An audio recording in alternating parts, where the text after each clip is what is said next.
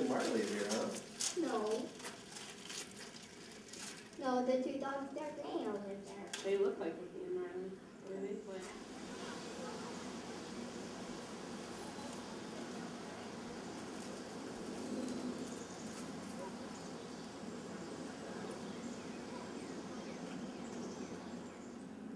Well, you know what? Not though, because they keep changing it. So that Is there one they new keep back and they it better.